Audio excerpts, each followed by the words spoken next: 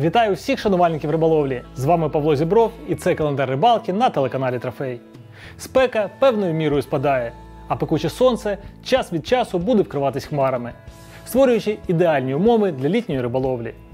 Як хижа така мирна риба, при наближенні липня шукатиме собі найглибші ділянки для полювання. Тож за таких умов цього тижня ми з вами будемо ловити плітку, жереха та судака. А зараз докладніше. Протягом наступних семи днів очікується незначний спад температури та мінлива хмарність по всій країні. Температура повітря складатиме від плюс 26 до плюс 28 градусів в день та від плюс 16 до плюс 18 вночі.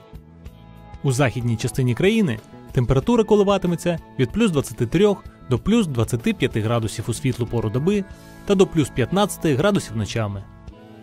Висока вірогідність опадів, що супроводжуватиметься грозами, передбачається синоптиками на заході ближче до вихідних та на півдні у середині тижня. Вітер дутиме з північно-західного напрямку, його швидкість у середньому складатиме 2-3 метри на секунду, а найбільші пориви не перевищать 6 метрів на секунду. Атмосферний тиск залишатиметься наближеним до норми та коливатиметься в залежності від регіону від 745 до 750 мм ртутного стопчику. Мілководні та прибережні теплі води приваблюють до себе чисельні зграї молодої плітки. Найбільшу активність вона проявлятиме у заплавах, особливо на ділянках дна, які якомога щільніше вкриті малою рослинністю та каряжником. Окрім цього, значна активність спостерігатиметься у старицях та спокійних частинах річок, у бровах та ділянках із природними перешкодами, які захищають рибу від течії. Плітка дуже швидко звикає шукати їжу на ділянках, що періодично підгодовуються рибалками, поплавочниками та фідеристами. Часто конкурує за їжу із підлящиком та плоскиркою. Враховуючи ступінь прогрітості води, варто віддати перевагу легкому та чутливому фідеру тестом до 120 грамів. Основу корму складатимуть подріблені крупи та крупи дрібних фракцій, що перемішуються із пилячими компонентами та незначною дозою мотиля.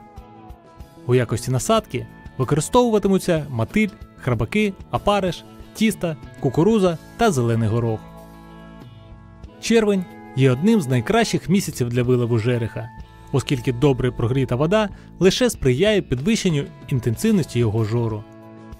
Однак, незважаючи на підвищену активність, цей хижак ані на мить не втрачає своєї природної обережності. У години пікового жору жерех видає свою присутність плесками на поверхні води, стрімко атакуючи невеликою зграєю, пропливаючи повз невелику рибу або малька. Ловлять його за допомогою спінінгів довжиною близько 3 метрів, навіть за риболовлі з човна, а катушки підбираються типорозміром близько 3000. Враховуючи типову для лову жереха дальність закидання, серед принад перевага віддається тяжким блешням сріблястого забарвлення, кастмастеру та подеколи дивону. Судак, як слід підгодувавшись протягом травня та початку місяця, наприкінці червня значною мірою вгамовує свій апетит, стаючи більш перебірливим до принади. Піки активності судака припадають на ранкові та вечірні години. Протягом всієї ночі хижак лише нарощує активність, особливо у тихих водах. Ловити судака наприкінці червня краще за все на світанку за допомогою спінінгів класу Light або Ultralight. У якості принади використовуються коливні блешні зеленого або стрільблястого кольору довжиною до 7 см, а також воблери з заглибленням близько 2 метрів та силиконові принади на легких джигових голівках. Підведемо підсумки. Плітка, як і більшість коропових, шукатимуть собі їжу подалі від берегу та, повертаючись до заросів очерету, переважно вранці, обираючи звали та брови. У той час, як у жереха спостерігається пік активності, судак навпаки полює повільніше та переважно у нічні години. Тим часом продовжується реєстрація на наступний етап найкращого турніру з ловлі Iron Fish. Тож усі бажаючі мають змогу зареєструватись онлайн або за телефоном, який ви бачите на екрані. А я традиційно бажаю вам добре провести час за улюбленою справою і ні хвоста, ні луски.